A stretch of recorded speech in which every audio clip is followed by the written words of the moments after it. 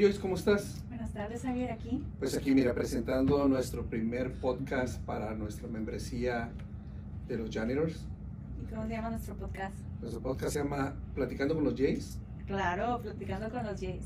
Y para este primer podcast tenemos a un invitado muy especial. Y, y habíamos dado unas pistas referente a nuestro invitado, ¿no? Es, es que es fanático de los Janitors. Janitors, dijo. Ujú. ¿Y de qué más?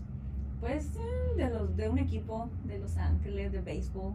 De los Ángeles de Béisbol. ¿Y por qué mejor el que nos diga cómo- quién es? Claro que sí. Así que tenemos Entonces, aquí con nosotros a nuestro invitado especial. Nuestro presidente David Huerta. que es nuestro presidente, el ¿verdad? presidente del sindicato de SCIU USWW. Janitorial. En especial, pues tenemos varias divisiones, ¿no, presidente? Tenemos aeropuertos, tenemos los de seguridad, tenemos a los aliados y pues obviamente tenemos los Yankees. Así es. Pues el día de 50,000, hoy, ¿eh? 50 mil miembros. Aproximadamente había eh, escuchado que eran 45 mil, so ya le subimos a 50 No, cuando yo entré eran uf, 12 mil. Éramos más pequeños en ese tiempo, ¿right? solo Los Ángeles y después nos fuimos todo estatal, pero en números de 12 a 20 mil y después ya ahora somos 50 mil. So, esa parte es lo interesante, ¿verdad? Yo de saber de dónde nace Huerta. Huerta, a ver, ¿nos podrías platicar un poquito cómo, cómo, cómo nace Huerta, ¿no? De, de- ¿Quién es David Huerta? ¿Quién es David Huerta? ¿O de, de la escuela, el niño se travieso, algo? ¿Cómo te fuiste metiendo en todo esto de- del activismo?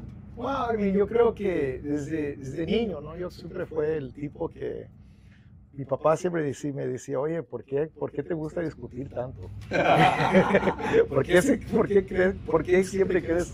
Él decía, ¿por qué tienes siempre que ser correcto en, en mi, en mi argumento? Y le digo, pues no, no es que soy, soy correcto en lo que estoy discutiendo, es que yo estoy hablando con la verdad y cuando yo pienso que tengo la verdad, pues yo voy a argumentar y voy a insistir que, you know, así tiene que ser. O sea, que eras el típico niño de la escuela que te decía la maestra, Huerta, Ya. guarda silencio, por favor. Ya, no, yo era ese niño, man. Yo era ese niño que travieso, medio travieso, no malo, ¿right? pero así siempre metiéndome en cosas desde joven, you know, um, you know, y creo que era algo bueno y malo porque tampoco no sabía cuándo caerme en boca y que también eso te puede meter en problemas de vez en cuando, ¿no? Um, realmente dependiendo la, la situación, ¿no? Creo, creo que me suena. Pero, este, ah, David, cuéntenos cómo, cómo fue que usted empezó a, a- a sumergirse en el mundo labor, del, del movimiento laboral, porque pues parte de la idea de este podcast que nosotros eh, Yeah. planteamos es este compartir am, todas las historias que muchas personas, a muchos miembros que nos están viendo o escuchando no saben, no saben am, toda la lucha y cómo eh, nuestros líderes, nuestros miembros han eh, luchado por todo este tiempo. Entonces, ¿cómo, eh, cómo, ¿en qué momento David Huerta se introduce en el movimiento laboral? Wow. Well, mira, déjame decirte algo. Para mí, ser parte del movimiento laboral es algo, creo que me nació. Ah, mi papá fue Teamster ah, de las 70s, 80s, o las 70s, la verdad. Ah, y, you know, mi mamá murió de, yo tuve cuatro años que murió mi mamá y ah, mi papá quedó soltero con dos hijos. Ah, you know, él pudo ah, sobrevivir o, you know, dar por su familia porque tenía un trabajo sin- de, de los Teamsters. Y con ese trabajo, yo me recuerdo, mi papá se levantó, se iba a trabajar de noche y no regresaba hasta las 6 de la mañana, ah, cada noche, you know, lunes a viernes o tiempo extra si había. Ah, pero creo que ese, ese, vamos a decir, ese sentimiento de, de- de la comunidad obrera, hacer parte de, de mi papá siendo un parte de una familia de los Teamsters. Ah, you know, yo me recuerdo cuando murió mi mamá, mi papá fue parte de una huelga en ese tiempo, un Wildcat Strike, um, y, y, ah, you know, perdió su trabajo, el resultado de ese Wildcat Strike, pero nunca él, nunca, nunca ah, desconfió de su, de su unión. Siempre era 100% unión y mi papá, como eres ah, hombre soltero, me, recuerdo que ya de que perdió su trabajo, nos llevaba la- al Teamster Hall, a la, a lo- ¿cómo se llama? La, la, Las juntas de membresía. bueno, no la- pero nos llevaba porque a él como era casual, es casual, ¿no? Porque él había perdido su trabajo. So, él los mandaban en trabajos de un día, dos días, tres días, lo que, lo que podía trabajar, ¿no? Porque pues obviamente le dieron prioridad a mi papá, porque él fue, él sabía, ellos sabían que tiene dos hijos en casa, que se había murido su, su esposa y que había perdido su trabajo por la huelga que se había hecho. Y a le, dieron prioridad por todo lo que a él había sacrificado por, por, ah, por, los, por, la, por la unión. Y me llevaba mí y mi hermano nos dejaban en, el Teamster, en el Union Hall, donde despachaban todos los casuals. Nos quedábamos, yo y mi hermano nos quedábamos ahí ocho horas, ahí en el, en el salón, you know, con todos los Teamsters y todo. Y siempre yo me recuerdo que los, los Teamsters, los que estaban ahí, nos, nos venían a decir, ¿quién, ¿quién, son esos niños, man? ¿Qué están haciendo esos niños aquí? Yo, yo, yo tenía seis años, man, yo lo que sabía, ¿no? Y me decían, Ay, ¿qué, ¿qué, hacen esos niños aquí? Oh, esos son los niños de Rafael. Oh, ok. Después nos llevaban papitas y, y sodas, y no, solo a entretenernos, ¿no? Y después, ocho horas después, venía mi papá de vuelta y nos subimos al carro y nos, nos llevaba a casa. Pero Huerta, en este, en este punto cuando mencionas que, que, tu papá era miembro de Teamsters y que ustedes se quedaban en el, en el hall para que los cuidaran, ¿había algo que tú recuerdes que tu papá te decía a ti o tal vez a tus hermanos de que, mira, trabajar con Unión es, es, es, bueno por estos beneficios? O, o, nunca te mencionaba, pero tú lo veías de que eso les beneficiaba a ustedes? Bueno, mira, yo, yo, yo me recuerdo un incidente que cuando había, recién había morido mi mamá y mi papá no tenía trabajo, ¿no? Y, y, estaba, you know, eh, estaba, obviamente estuvimos en una mala situación económica, ¿no? Y um, yo me recuerdo que vinieron unos amigos de, no sé si amigos o organizadores, posiblemente representantes del Teamsters, y nos venían con con bolsas de comida, ¿no? Porque no había de comer.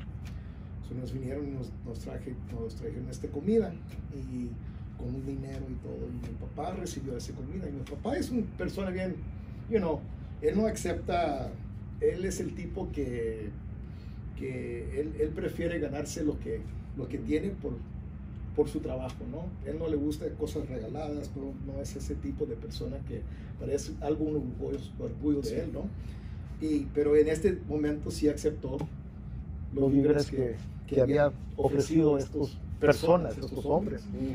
Y en ese momento me di cuenta, porque mi papá me había dicho que esos son los, nuestros miembros, mis, amigos de la Unión.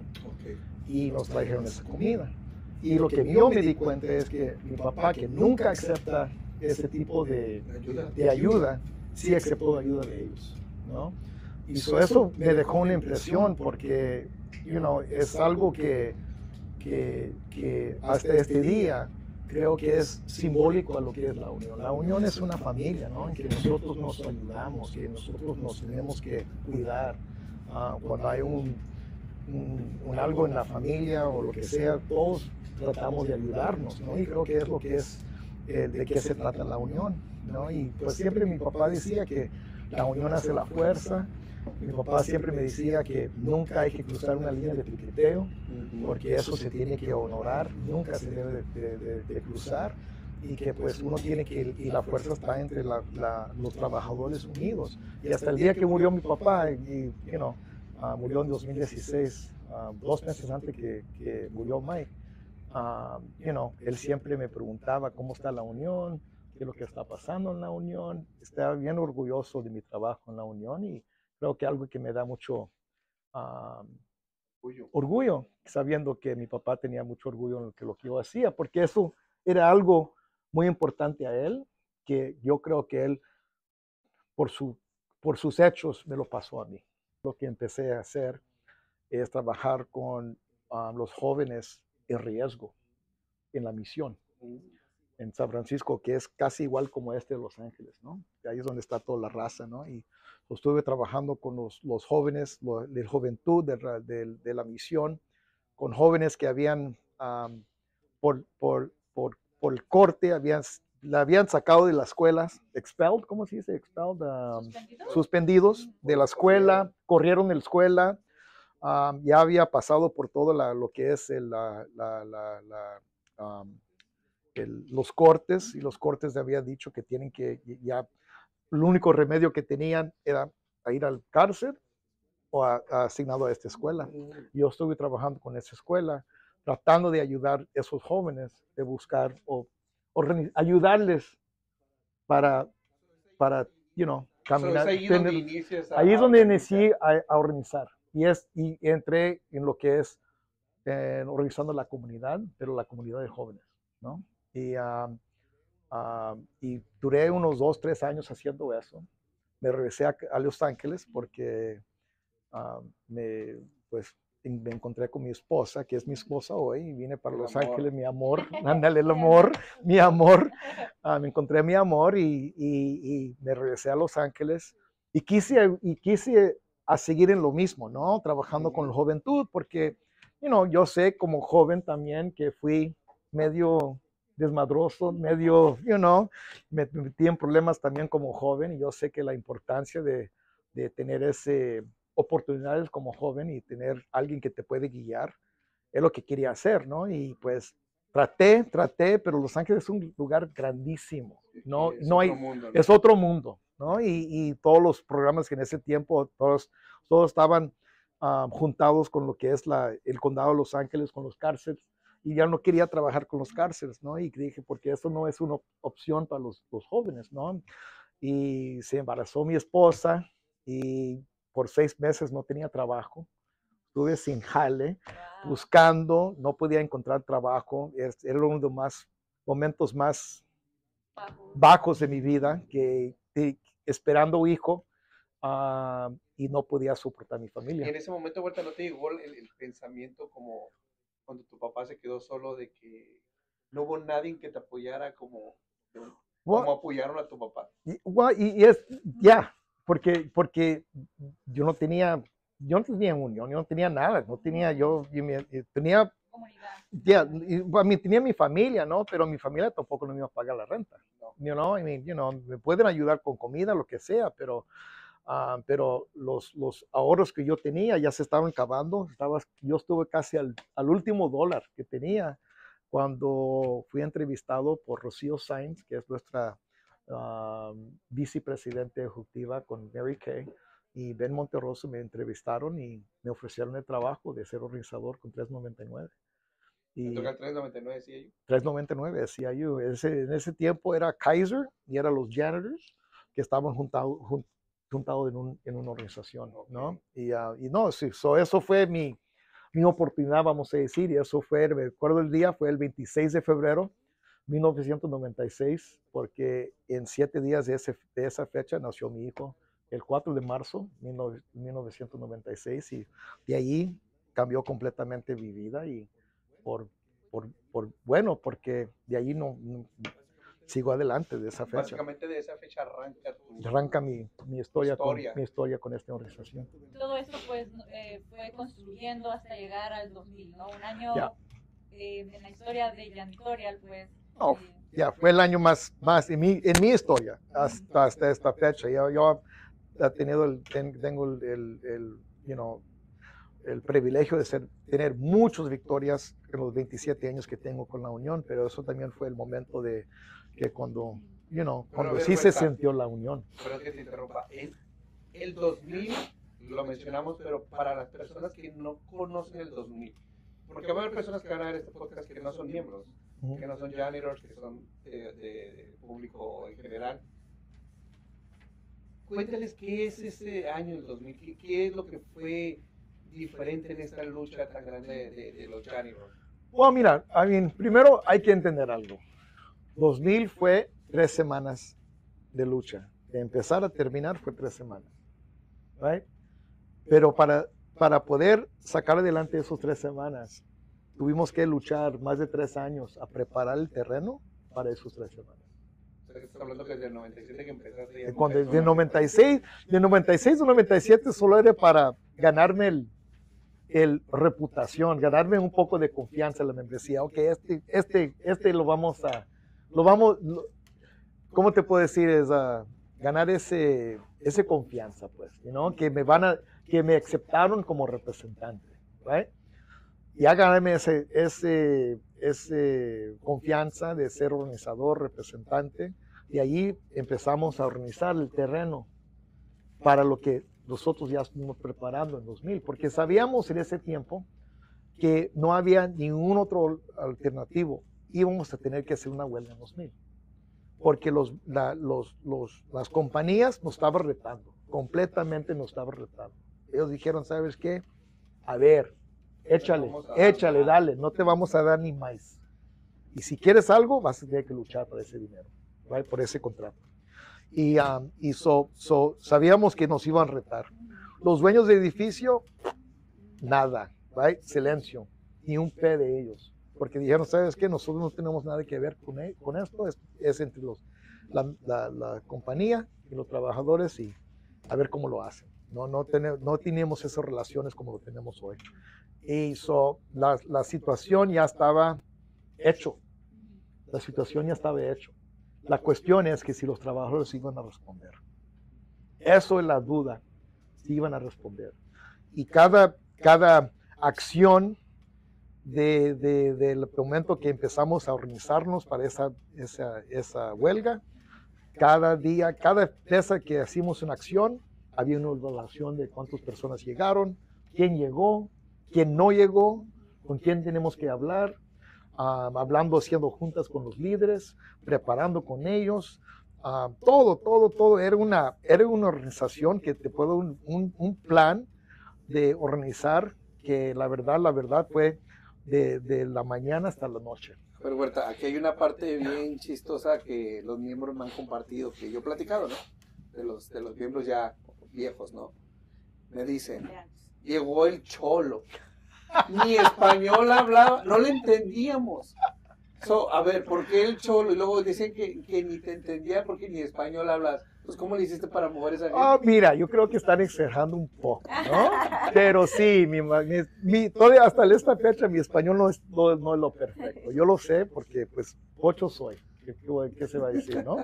Pero que la verdad, la verdad, um, sí, yo, yo, you know, yo tengo un, un, un español que me lo enseñaron, no es algo de escuela, no es algo que, es algo que hablaba con mi familia y pues, pero ya me decían el cholo, me decían el, el, que no hablaba, que no podía hablar español, pero ¿sabes qué? Algunos miembros me decían, ¿sabes qué?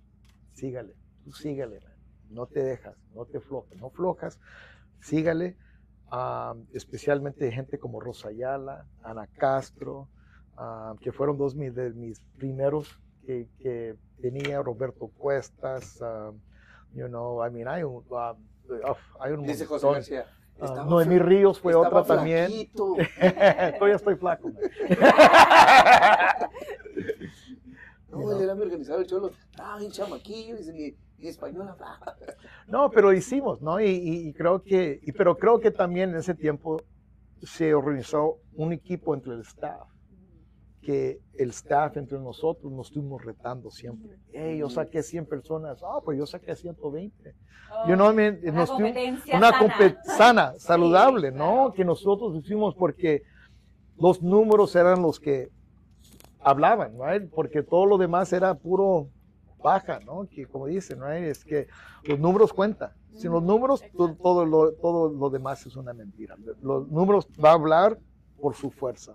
Si los números están ahí, tienes la fuerza. Y cada día, hasta la fecha que fuimos a huelga, estuvimos cada día ah, retando los miembros, organizando con los miembros, los, no- los números, haciendo lucha, ah, instigando, peleas, todo, ¿no? Y me recuerdo un día, una, cosa, un día que hicimos una junta porque todavía había los rebeldes entre los janitors. Había rebeldes, ¿no? Que, que no se... en ese tiempo se decían los contras, en ese tiempo se llamaban los contras, ¿no? Y, y había una reunión que donde estuve Mike García y que ellos pidieron la reunión con nosotros, los rebeldes pidieron la, la unión, era un buen, that was a good thing, era algo bueno porque pues, estábamos respondiendo por lo menos y tuvimos la junta. Yo me recuerdo don Salvador, que es uno de los, eh, fue uno de mis líderes también ese tiempo, don Salvador, que muchos de los viejos aquí van- se van a recordar, especialmente los veteranos del centro, se van a recordar de don Salvador, fue veterano de tres huelgas y, ah, y, y, se paró y pidió, pidi- pidió, el- pidió la, la palabra, ¿no?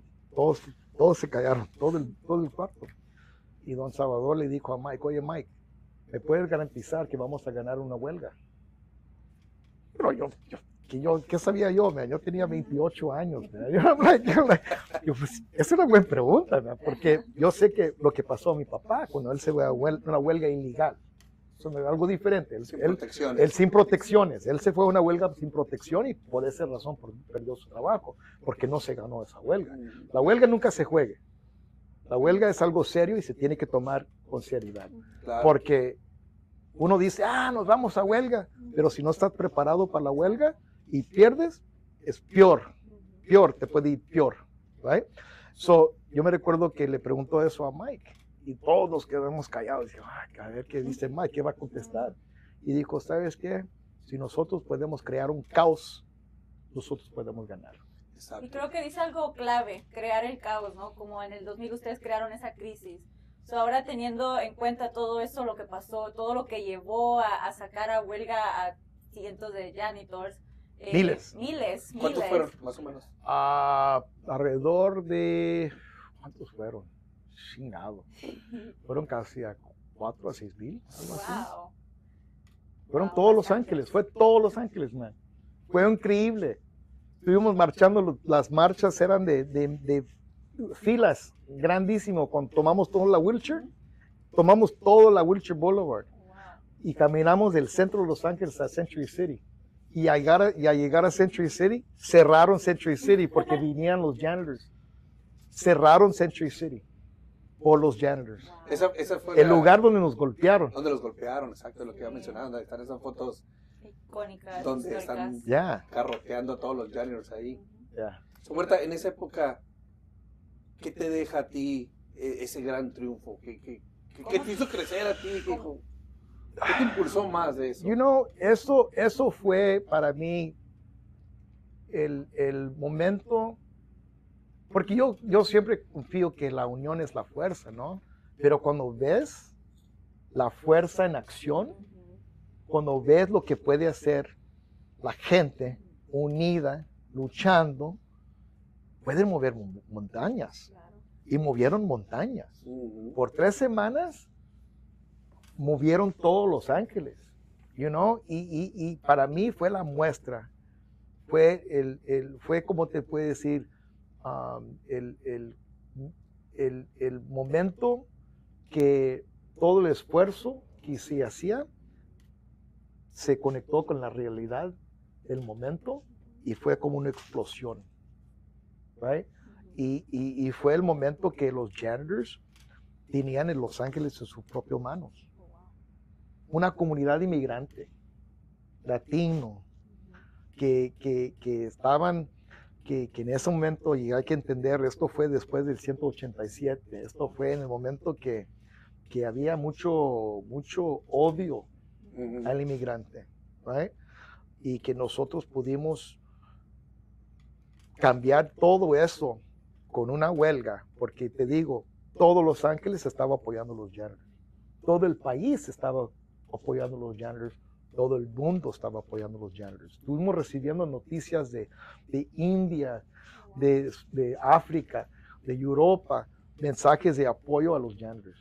que se ha marcado mucho, Huerta, cuando hemos ido a las visitas a los, a los edificios, que sobrevivimos a todo eso, ¿no? Ujú. COVID, eh, los Huelgas, recortes ya, masivos en los edificios y hemos salido adelante.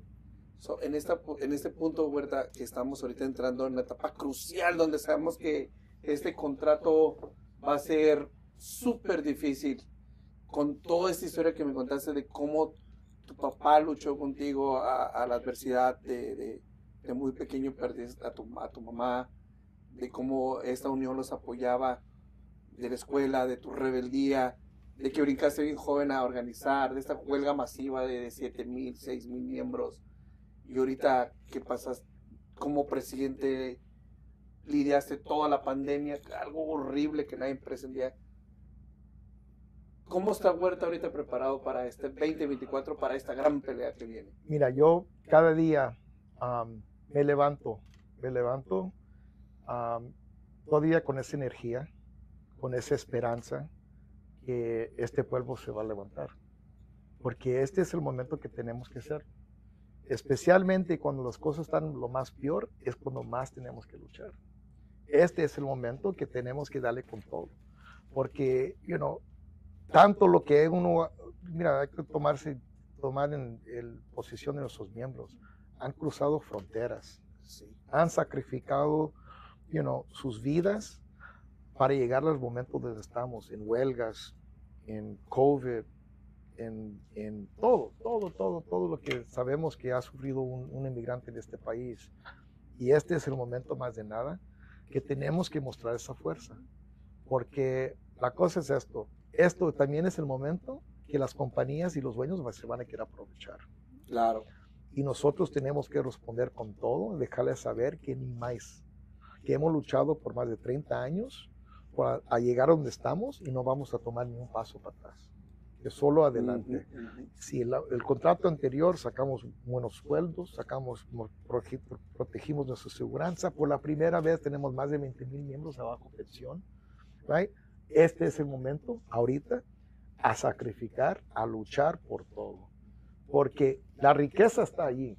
Estos guys no están, ellos, en que está la medio, you know, chueco ahorita la industria de limpieza, no de la industria de comercial. La riqueza que ellos se han, que tienen, todavía sigue. Ellos lo tienen, right? Pero obviamente en tiempos como estos, esto es el momento que ellos se van a, querer aprovechar. Y si los dejamos, se van a aprovechar. nosotros tenemos que darle con todo a luchar para algo más, mejor todavía, porque todavía hay mucho más que ganar. Claro, y creo que en nuestra industria pues hay bastantes personas que ya están a punto de retirarse, ¿no? Entonces, ¿cuál es su mensaje para la membresía, para que es joven, que se está uniendo a la industria y que a lo mejor todo esto que usted nos acaba de compartir no, no lo conozcan o no estén muy familiarizados, como eh, cuál es su mensaje a, urgencia para la membresía. O yo creo que, mira, yo creo que la responsabilidad ahorita es a esos veteranos. Y porque esos veteranos tienen que, se tienen que poner a, entender que en que ellos casi están a su fin de su carrera, right? ellos tienen la responsabilidad de dejar un legado a los que van entrando. Así es, a los jóvenes. A los jóvenes, al, al, próximo generación. Y yo creo que una organización va, tiene un futuro cuando siempre estamos poniendo, cuando estamos con intención, con intención, ayudando a la próxima generación a tomar la batuta. Y estamos en este momento, right? Si yo tengo 27 años con esta organización, conociendo miembros que ya tenían 10, 15 años en la industria, que siguen trabajando hoy día, y me respetos para todos esos trabajadores que siguen hasta este día trabajando porque siguen trabajando por la necesidad. Pero la cosa que más pueden hacer en este momento es enseñar a esos jóvenes qué es la lucha, por qué es importante luchar, por qué es importante que ellos participan, que ellos entiendan, esta unión es nuestro, es de todos. Y todo, cada uno tiene una responsabilidad de asegurar que esta organización sigue adelante. So, esos veteranos tienen que invitar a esos jóvenes a la, mesa, a comer, a, compartir, enseñarles cómo luchar, la importancia de luchar, la historia de esta lucha, para cuando ellos se, un día se retiran, ellos van a seguir en la lucha para la próxima generación. Ahorita, yo creo que esta plática está súper buenísima. Yo creo que vamos a tener que tener parte 2 de esto. No estoy diciendo que se acabó la plática, ¿eh? pero... Nunca se acabó. A ver, Huerta, vamos a regresar en el tiempo. Ahorita en 2024, a lo que me contaste en el 2000 con May García. Ahora, yo soy el trabajador. Tú eres David Huerta. Si yo te pregunto, Huerta, ¿vamos a ganar este 2024? Sí vamos a ganar este 2024, pero lo vamos a ganar siempre y cuando que tenemos la gente participando, luchando en las calles. Y siempre ha sido la, la, la, la, forma. mira, nadie nos va a dar, poner atención, nadie nos va a regalar nada, nadie nos va a dar algo por, por, por, por gratis. Claro. Todo se hace por lucha y sacrificio, especialmente nuestros miembros saben eso. You know? Y más, un janitor, right? que, que trabaja de noche, que nadie se da cuenta cuando entra y cuando sale. Así es. You know? Más esos janitors tienen que estar en la lucha, en frente de sus edificios, creando ese crisis, ese caos, para que la- el, pub- el público entienda que este, este organización de trabajadores están luchando y que están exigiendo que se le que se que lo que están lo que merecen. Es siempre lo que decimos justicia respeto y dignidad. Hay una parte en el 20, en octubre 26, en la marcha que tuvimos aquí en Los Ángeles, para finalizar con, con esta plática que a mí me dejó marcado, Huerta, en especial cuando dijiste, hay que salir con la frente en alto y darle con todo, muchachos, Eso con sí. todo. y, y- y es la verdad porque sabes que you know, compañeros la verdad la verdad you know, hay elementos en este país que quieren que, que- que- que han puesto un blanco en la mera frente de los inmigrantes. Y sabemos de lo que estamos hablando. Right? El día antier, el fregado Trompas dijo que se va a joder a todo el inmigrante. Right? Nosotros no estamos luchando solamente por un contrato, estamos luchando por un pueblo entero. man. Estamos luchando por una comunidad entero que lucha cada día, que lucha cada día para, para que sus familias puedan sobrevivir y nosotros tenemos un aramiento, right? Que es la unión, que muchos trabajadores no tienen. Nosotros tenemos esto, este, este organización Justice for Janitors, USWW, que por medio de esta organización nosotros podemos luchar no solo para nosotros, pero para un, Para todos. un- una comunidad inmigrante por todo. Y por eso digo, con la frente en alto, siempre, siempre hay que ir con la frente en alto, man. porque con la frente en alto vamos a luchar. A continuación, en Voces de la Membresía, entrevista especial con la líder sindical Ana Castro. Escuchemos. ¿Y cómo se empezó usted a involucrar aquí con el sindicato? Eh, Yo vine en el 95 al sindicato. ¿ok? En ese tiempo me empecé a trabajar de, de llanito y de temporal, como todos, todos los miembros trabajamos de temporal. Yo agarré la plaza como al año y medio de andar de temporal rebotando. Y es muy importante que los miembros nuevos sepan la lucha y que estén listos para luchar por este contrato del 2024. Esa es la importancia, que a la hora que le llamen venir, porque si no el contrato se gana en las calles, exacto. no se gana, no se gana sentadito esperando que llegue el cheque y que, con perdón, de decir, hay otros que van por mí, porque a mí me lo decían en el edificio. Yo ya fui, hay otros que van por mí, y una de ellas era yo. Pues mire, en la historia de, de USWW está la, la huelga del 2000. ¿Cómo, ¿Cómo llegaron ustedes hasta ese punto? Yo sé que usted entró al finales de los 90, estaba empezando a estar más activa en la, en la unión. Eh, cuénteme, ¿cómo, cómo, les, cómo, ¿cómo estaban las condiciones Yo- en aquel entonces? Yo llegué en lo mejor del movimiento, en el 95. Al año llegó Huer- Huerta, ¿verdad? Huerta desde el 96, empezó a trabajar. Yo fui una de la que llevó a Huerta, anduvimos con Huerta el primer día que Huerta trabajó. Ese día yo lo llevé a piquetear la Curazao. Wow. Yo fui su profesora de Huerta. Pero ya empezamos y ya veníamos diciéndole ya a la gente, viene la huelga, prepárense, viene la huelga. Ya hacíamos piqueteos, hacíamos las marchas, los piqueteos no eran de hoy, no eran de 20 personas ni de 25, éramos un bus, dos buses, tres buses, así eran los piqueteos que hacíamos para, para estar ya avisándole a las compañías que estábamos ya listos para la huelga. Entonces eh, salió ese, había un, un- un- una cosa de, de, de- de que Berta, Nor- Berta lo puso el de eso de los líderes que se, que se reúnen, este, ¿cómo se llama? ¿Pegas? Pega. Berta Norte puso pega y ahí se empezaron a involucrar los miembros. ¿ah?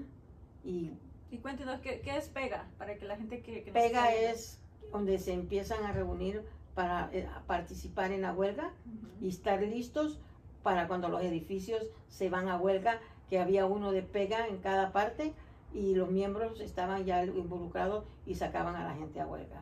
¿ah?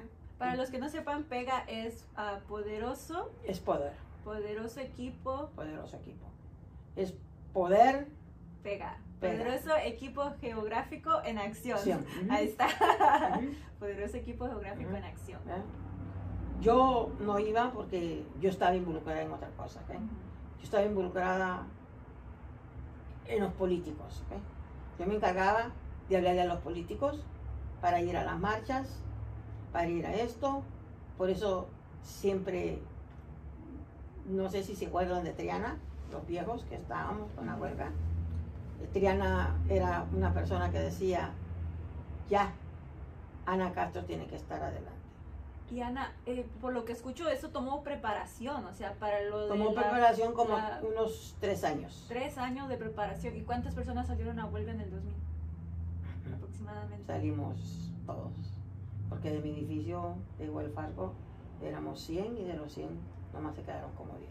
Wow. Solo de ahí salimos. 90. a ver, cuéntame una yo sé que debe tener miles de anécdotas durante ese tiempo, pero cuéntame una así anécdota interesante de que haya pasado en, es- en esa, en esa época, en respecto a la huelga.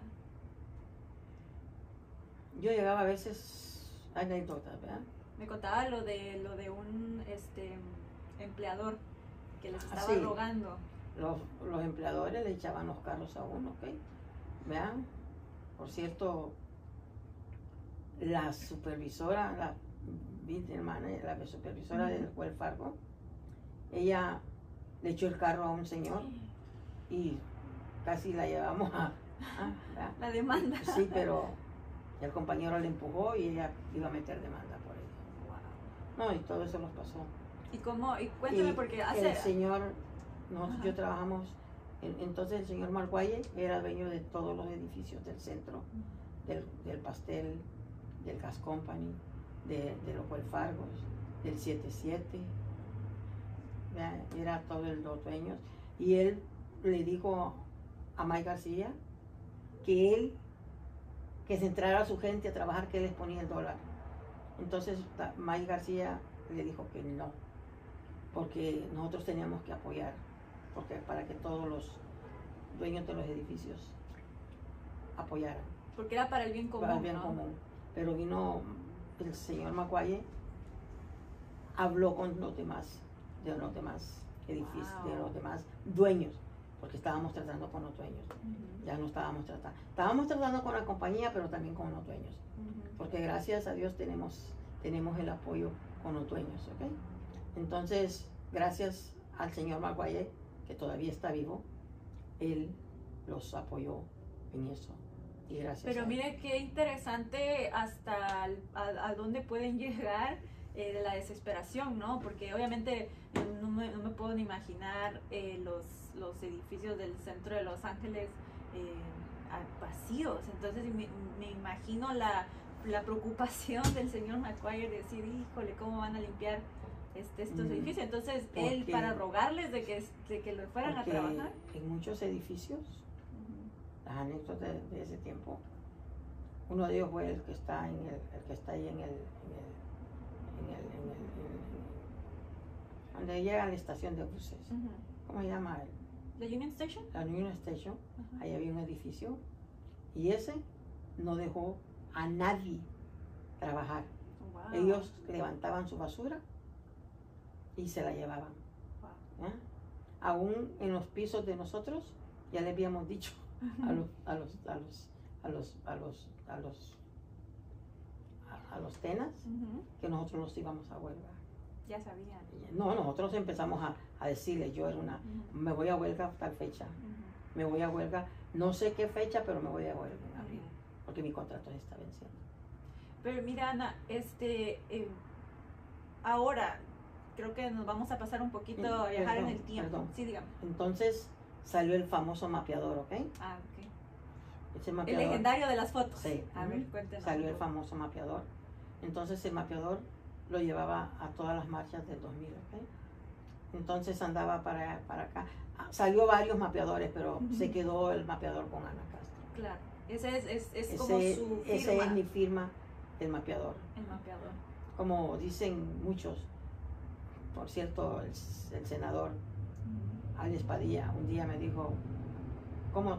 Ana, ¿cómo? No sabía ni mi nombre, pero sabía que era del mapeador.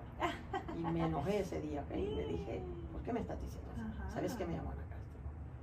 Entonces, el senador, federal, El símbolo de Ana Castro. el símbolo de Ana Castro, dice mapeador. ¿Mm? Pues mire Ana, eh, pues como todos ya saben y ya un poquito el, el presidente Huerta nos comentaba sobre eh, lo que llevó a la huelga, cómo fue la huelga y lo que se ganó. Este, am, también queremos hablar un poquito de, de cómo, cómo ve usted ahora las condiciones de trabajo para este 2024. ¿Usted cree que, que vamos a poder ganar un buen contrato? Si le echan ganas los miembros a salir a las calles, a pelear por su contrato, sí ganamos, ¿verdad?